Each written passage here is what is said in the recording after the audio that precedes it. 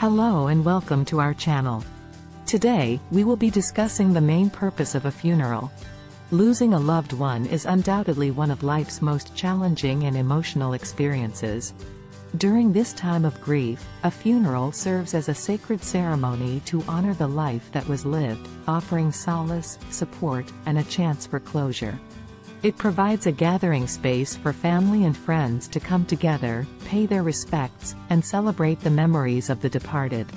Above all, the main purpose of a funeral is to provide a meaningful farewell, allowing us to say our final goodbyes and find comfort in the love and connection we shared with the person who has passed away.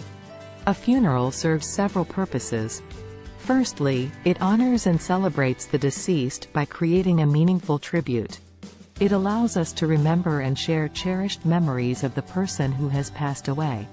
It also recognizes the impact of their life on others by acknowledging their accomplishments, values, and positive influence on the world around them. Secondly, a funeral provides emotional support by acknowledging and expressing grief. It brings people together to mourn and support one another during an emotionally challenging time. The gathering of family, friends, and community members allows for a collective expression of grief and provides a network of support.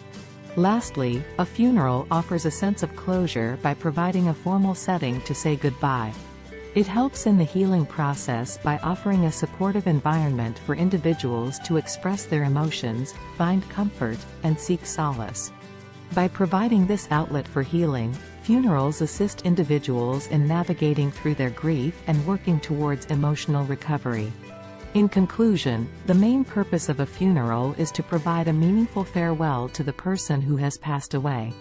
It honors their life, provides emotional support to those grieving, and offers closure to help in the healing process. Thank you for watching. If you found this video helpful, please like and subscribe for more content.